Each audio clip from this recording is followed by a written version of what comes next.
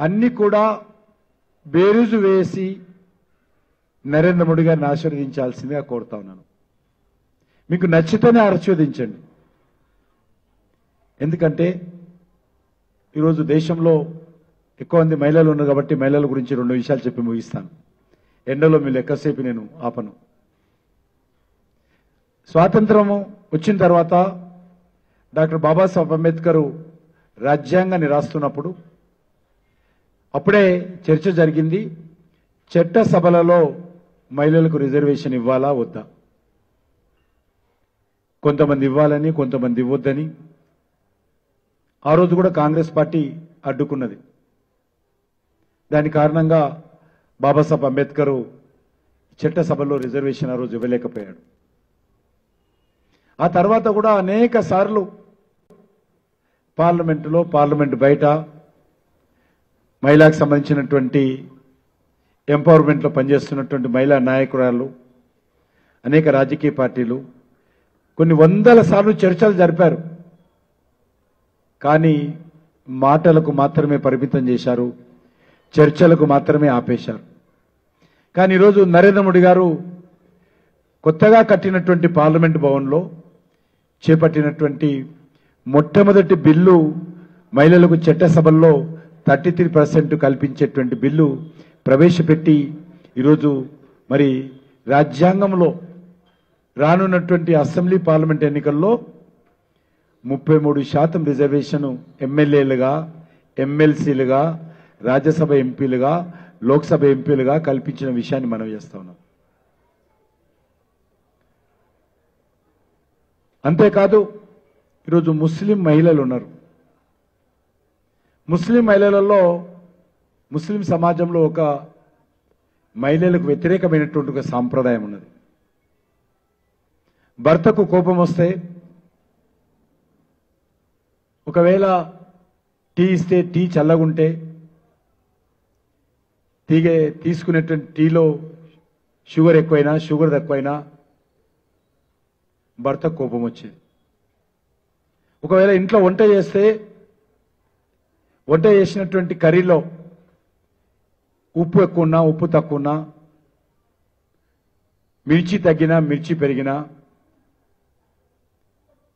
మరి మూడు సార్లు అంటారు తలాక్ తలాక్ తలాక్. ఇంతే. ఇప్పుడు అన్న మూడు మాటలు అంటే ఆ తల్లి ఆ చెల్లి ఆ అక్క కట్టు బట్టలతో ఇంటి నుంచి వెళ్ళిపోవాలి. ఇది ముస్లిం సమాజంలో చిన్న విషయానికి కూడా అకారణంగా వాళ్ళని ఇంటి నుంచి బయటికి పంపించి ఇంకో పెళ్ళి చేసుకునేవాళ్ళు. ఉన్నప్పుడు కూడా చేసుకోవచ్చు. ఎంతమంది నాదేం ప్రాబ్లం లేదు. కానీ ఈ రకమైనటువంటి విడాకుల విధానము తలాక్ విధానము భర్తను వదిలేసే విధానం. విడాకులు అంటే ఉభయులు అంగీకరిస్తే విడాకులు అంటారు. ఇంటి నుంచి తరిమేస్తే తలాక్ తలాక్ అంటారు. అది ఈరోజు ఇస్లాం ఉన్న దేశ ఇస్లామిక్ దేశాలలో కూడా లేదు. పాకిస్తాన్లో కూడా లేదు. బంగ్లాదేశ్లో కూడా లేదు. ఇండోనేషియాలో కూడా లేదు. ఎక్కడైతే ఇస్లాం ఆధారంగా పరిపాలన చేస్తారో అక్కడ కూడా లేదు.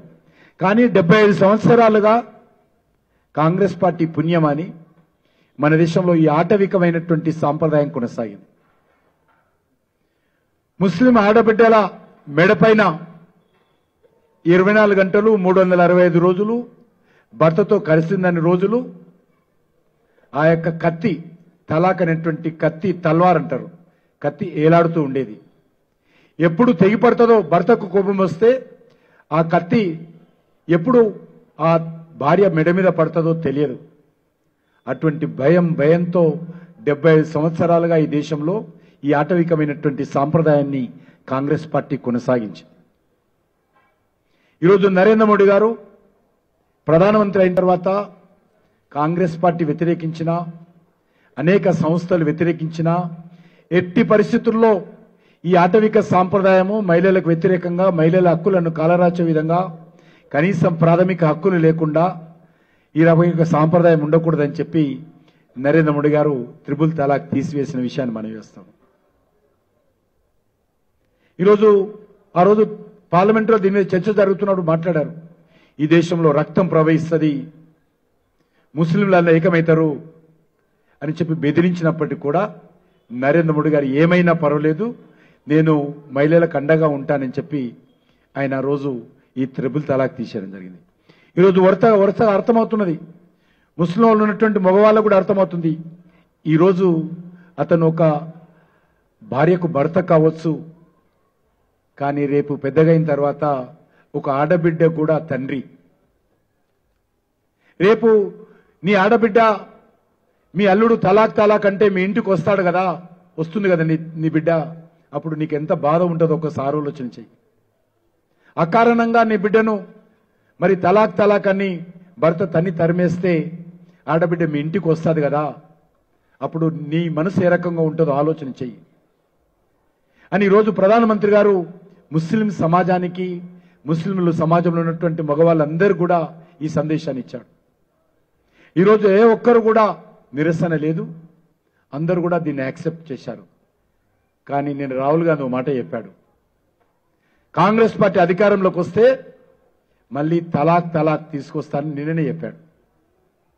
ఓట్ల కోసం అధికారం కోసమో ఎంత దిగజారుతారో అర్థం చేసుకోవాల్సిందే నేను కోరుతా ఉన్నాను. నిన్ననే చెప్పాడు. ఇంకో మాట అన్నాడు.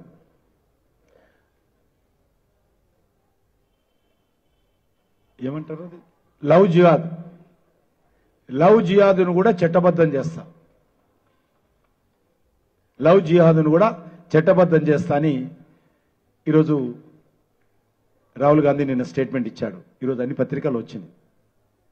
అందుకే మనం చేస్తా ఉన్నాను ఈరోజు మహిళల యొక్క హక్కుల కోసం పునరుద్ధరణ కోసం పనిచేస్తా ఉన్నాడు. నేను హోమ్ మినిస్టర్గా ఉన్నాను కొన్ని రోజులు రెండున్నర సంవత్సరాలు. పైలా సహాయ మంత్రిగా హోమ్ మినిస్టర్ ఉంటే. ప్రధానమంత్రి గారు నేను చెప్పారు కనీసం మేమిద్దరం ఉంటే ఎంఓఎస్లో మీరు ప్రతి నెలకు ఒక్కోసారో రెండుసారో సరిహద్దు గ్రామాల్లో వెళ్ళి Pakistan border Bangladesh border China border Burma border వెళ్ళి మీరు అక్కడ సైనికులతో గడపాలి అని ఆదేశించాడు. ఎందుకంటే అక్కడ మా ఫోర్స్ ఉంటుంది. సిఆర్పిఎఫ్ బిఎస్ఎఫ్ ఉంటుంది. అక్కడ చూస్తే సరిహద్దుల్లో బిఎస్ఎఫ్లో ఉన్నటువంటి ఆడబిడ్డలు ఫిఫ్టీ డిగ్రీస్ ఎండలో కూడా ఎండను లెక్క చేయకుండా మరి చలికాలంలో కూడా చలి లెక్క చేయకుండా భుజాన ఏకే ఫార్టీ సెవెన్ వేసుకొని బైనాకులర్స్ చూస్తూ దేశ సరిహద్దులలో కాపాడుతున్నటువంటి ఆడబిడ్డలు ఈరోజు చూస్తా ఉన్నాం. అందుకే ఈరోజు దేశ సైన్యంలో కూడా ఎయిర్ ఫోర్స్లో కానీ నేవీలో కానీ ఆర్మీలో కానీ చాలా పెద్ద ఎత్తున నరేంద్ర మోడీ గారు మహిళలకు సమాన హక్కులు కల్పించి వాళ్ళందరినీ సైన్యంలో చేర్పిస్తున్నారు. ఇటీవల రిపబ్లిక్ డే పరేడ్లో అద్భుతంగా మహిళలే విన్యాసం చేసిన విషయాన్ని మనం చేస్తా ఉన్నాను అంతేకాకుండా ఈరోజు గ్రామీణ ప్రాంతాలలో ఉన్నటువంటి మహిళలు మనం కూడా చాలామంది గ్రామాలకు వెళ్ళి వచ్చుంటాము ఇళ్ళలో టాయిలెట్ లేని కారణంగా ఎంతో అవమానాలకు ఇబ్బందులకు గురవుతారు. పొద్దున్నే తెల్లవారుదామునే ఎవరు లేకముందే ఊరు బయటికి వెళ్ళేటువంటి పరిస్థితి బహిర్భూమికి వెళ్ళే పరిస్థితి మనం చూస్తూ ఉంటాం. అందుకే నరేంద్ర మోడీ గారు ప్రధానమంత్రి కాగానే మొట్టమొదటి తీసుకునే కార్యక్రమము ప్రతి పేదవాడి ఇంట్లో టాయిలెట్ లేని ఇంట్లో టాయిలెట్ కట్టించాలి మహిళల గౌరవాన్ని పెంచాలని పదమూడు కోట్ల టాయిలెట్లు దేశంలో నరేంద్ర మోడీ గారు నిర్మాణం చేశారు. పదమూడు కోట్లు ఒకటి కాదు రెండు కాదు. ప్రతి పేద ఆడబిడ్డ యొక్క గౌరవం పెంచేది ఈరోజు పేదలు మహిళలు ఆడబిడ్డలకు పెళ్ళిళ్ళు చేస్తుంటే ఆడబిడ్డ అడుగుతుంది అత్తగారింట్లో టాయిలెట్ ఉందా లేదా? అని. టాయిలెట్ ఉంటేనే పెళ్ళి చేసుకుంటా లేకపోతే పెళ్ళి చేసుకునేటువంటి పరిస్థితి ఈరోజు చైతన్యము మహిళల్లో వచ్చింది. అంతేకాదు ఈరోజు ప్రతి ఇంట్లో మనం అంటే హైదరాబాద్లో ఉంటాం కాబట్టి గ్యాస్ సిలిండర్స్ వచ్చేవి. గ్రామాల్లో గ్యాస్ సిలిండర్స్ ఎల్పిజి అందేది కాదు. సంవత్సరాల తరబడి తిరిగేది కాదు. ఇంకప్పటికీ కట్టెల పొయ్యి మీదనే పోయి స్నానం చేస్తూ వంట చేస్తుంటారు.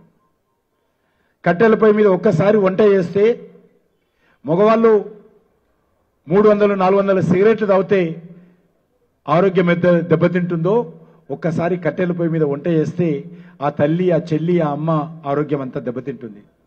అందుకే నరేంద్ర మోడీ గారు ఈ యొక్క వంట గ్యాస్ కనెక్షన్స్ అందరికీ ఉండాలి.